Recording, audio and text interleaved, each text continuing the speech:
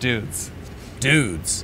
welcome to a very special video entitled Carter Beauford Shares His Dudely Drumming Wisdom while I sit here and hyperventilate in disbelief. Let's begin.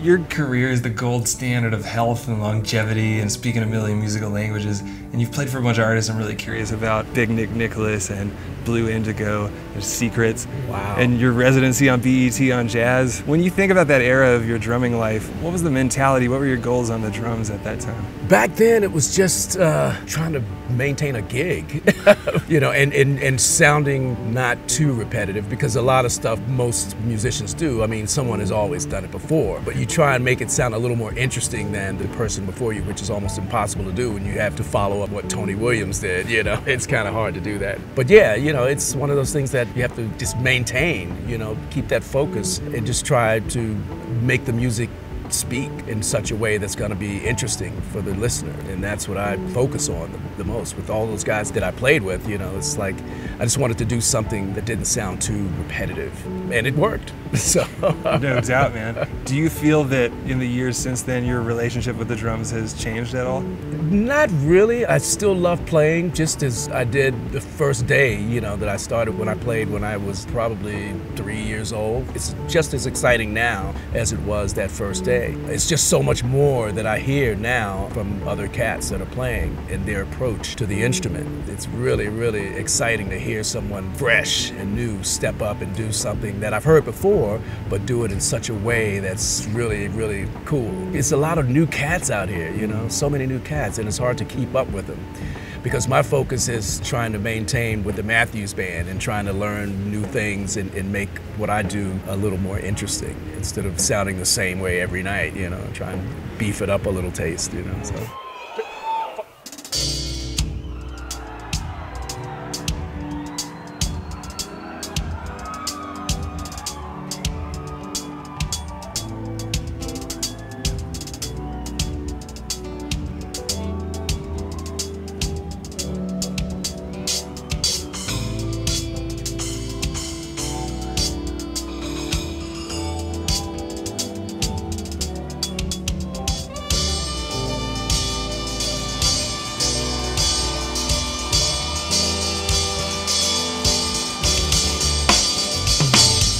So you saying that perfectly sets up like the number one thing I want to ask you, man. Let me hand you these headphones because I got some audio coming at you to demonstrate All what right. I'm talking about. Some Vic Firth headphones, no less. Wow, check it out. Nice. I've never seen these before. These are new, man. They're moving up in the world. Wow, Vic. Vic, man. Man, me and Vic hung out one night, man. It was cool. It was a couple years before he passed, and man, the dude was amazing. What an amazing cat. Go on. Amazing. Tell me about that last hang with Vic, man. Hanging with Vic was, was like a dream come true for me because I'd seen him on videos and that kind of thing, you know, when he was doing his thing years back. Fascinating drummer, just amazing drummer, you know. And then to be able to meet and share some dinner with him and, and share some stories, I was like the little kid in a candy store, you know, when I was hanging out with him. He was just full of all these great, great stories that he had to tell. And I was just there you know, the whole time with know, mouth wide open. I probably looked like the biggest nerd, but it was fascinating, fascinating. What a cool guy he was, man. He was like one of the greatest, and that was one of the reasons that I decided to start using his sticks. Yeah. You know, his sticks are just amazing. But just to share those moments with Vic, it made it a little better for me, a little one-on-one, I guess. That's say. beautiful, man. Vic is connected to so much good music. Oh, absolutely. And that's one of the great honors of my life, Yeah. man, is being a part of that Vic Firth Yeah. family, dude. And I share that honor with you, man. Was- oh man, bless you, Thank you. Dude, so this is 60 seconds of music. It perfectly demonstrates what you were saying a second ago. Uh-huh. It's basically the evolution of you playing the same five second snippet of music, but how your voicing of it changed over the last couple of decades. Let's throw the cans on and then I'll ask you something about All this, right. man. What would you say? Oh my God. What would you say? What would you say? What would you say? What would you say? Like I like I Why do what you say? Why do what you say? Why do what you say? Let her take a take a fuck it up this time. Why do what you say? Gotta stop a doctor, take a fuck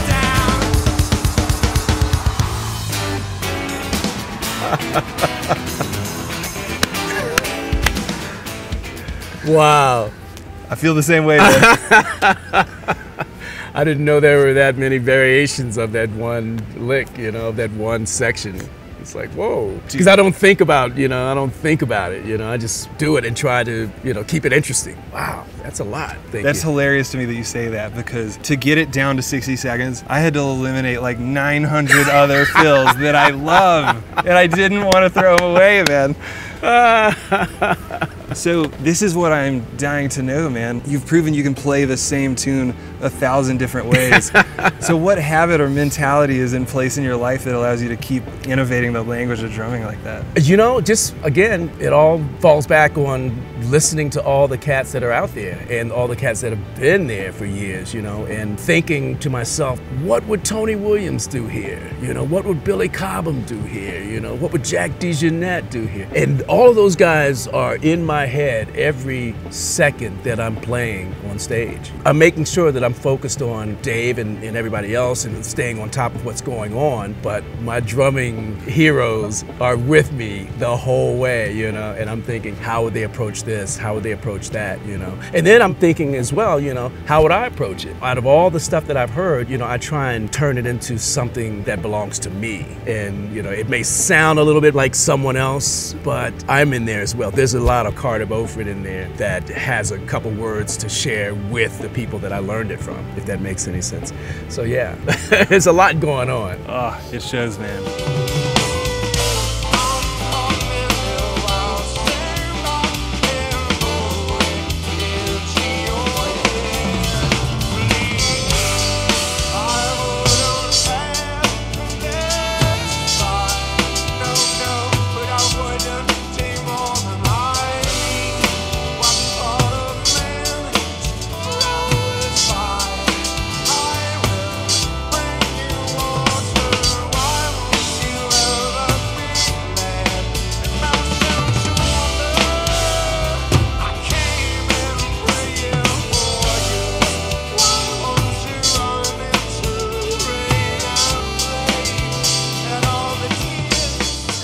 One of the culminations of what does Carter Beauford have to say? I'm gonna make it religious, man. I brought my childhood Bible here. You recognize this thing? Ay, ay, ay, ay, ay. oh my God. This relic, dude, this one piece of media has probably shaped me more as a musician than the rest of the universe combined. It's made me wonder in recent years, man, if we just happened to be sitting in that Bearsville studio again and we were shooting a sequel to this, what would you want to hip us to on the drums now? Wow. I don't know. As far as what I do, when people listen to me, a lot of times it's like, what are you thinking about here? What are you thinking about there? You know, a lot of times, like I said, I'm just thinking about how someone else would approach it. Mm-hmm. I'm hearing other songs in my head, you know, other drummers as they're playing their other songs. And, you know, there's a lot of stuff that I did when I was younger that I throw in there as well. There's just so many different things. It's hard to really knock it down to one thing. Well, they captured it beautifully, man. I almost hate that I asked you this because it makes me want a sequel to this really bad now.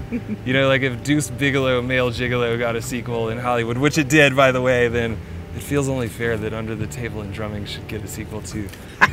we could call it like uh, Splash Into Me or uh, Before These Crowded Drums. Wow. Every drum, I'll keep going.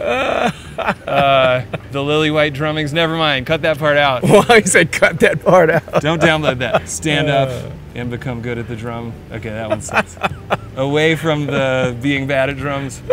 I'm running out of gas. You have you have a bunch. Drum tomorrow. That's the one. Drum tomorrow. That's what we'll call it. That's the one. Okay, awesome. Drum tomorrow. If anybody watching this has any ideas for what to call the sequel, just tell me and Carter in the comments, and I'll send this to one of you guys. Maybe even signed by the protagonist himself. But I like that a lot. I like that. yeah, drum tomorrow. Yes. Yes. Let's drum go. Tomorrow. I like that a lot. Let's go. yeah.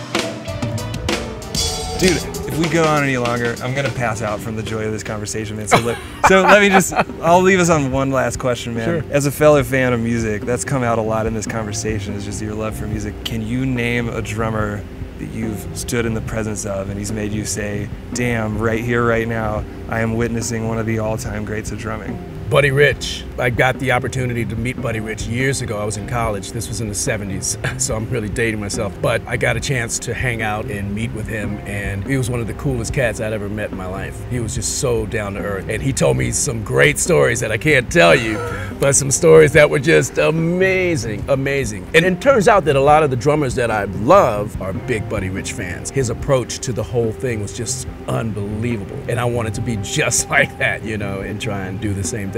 But uh, yeah, there's so many cats out there, man. So many cats. Dennis Chambers. He's got Lenny White. Oh, Lenny, when he was with Al Di Meola and Stanley Clarke and Chick Corea. Oh my God, that was some amazing stuff that he was doing.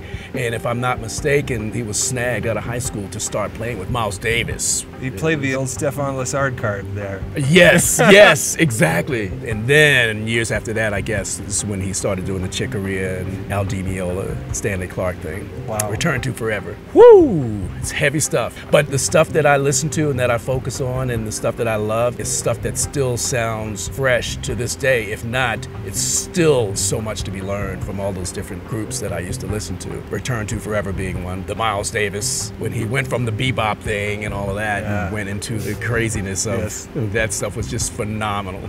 I love Yeah. it. Got a chance to hang with Miles a couple times. I was playing with a group called Secrets. He allowed us to open up for him, and I got a chance to speak with him, and he was just phenomenal. The coolest cat that I'd ever met in my life. And that particular night, I remember when we finished our set, we packed up, and I went upstairs, and I was standing upstairs when Miles came on and did his thing, and I was standing kind of like on the top of the building, so to speak, you know, and I was looking down on the stage, and Miles was he was in the middle of a solo, and he stopped his solo right smack dab in the middle, and he turned to his right and looked up at me and took his glasses and pulled them down and looked at me and I was terrified when he did that. I was like, what the hell is he looking at me like that for? And I mean, I wasn't just like level to him. I was up a ways. So he had to really do a lot to know that I was up there. And he did that and just for a few seconds he did it and the band was killing it. They were killing and he did that and he put his glasses back and went back to his horn. Bam!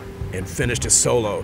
To this day, even to tell that story, I, it, it, it, I, I- I get this crazy feeling, you know, this. It's scary. It's scary. And that's the one thing that stands out for me, you know, my whole life, really. And that's the thing that Miles did that night. It just blew me away. It gives me goose pimples just to talk about it. That story connects so many dots for me about you. It explains so much about your playing, how deeply you lean into music, and how much that shit means to Right, you. yeah, well, yeah. it comes out on the instrument, man. oh, thank you. man. It explains that. I'm glad that you've gotten to have your own version of that feeling about watching the greats because I can say to you without a shred of irony or doubt that one of the great gifts of my life is I've gotten to come to your shows, see you play, and say to myself without that shred of doubt, I am witnessing the greatest to ever touch this Man, instrument. Bless you, man. And Thank you can't so talk me out of it, man. That is cool. that is so cool. Thank you, Thank man. you, bro. Dude, my life is complete now. Um, let's end with a ceremonial striking of the cowbell, if you will. I brought a cowbell. Send us. Peace, dudes. So, Done. Thank you, dudes. If you're watching, you're the reason this was possible at all. So help me thank you by taking some very cool Carter memorabilia from over the years off my hands. Oh, and one's the most epic banner I've ever seen in my life, and Carter himself wants it hanging on the wall of the next aspiring drummer. Rules are below in the dude description. Adios, dude chachos.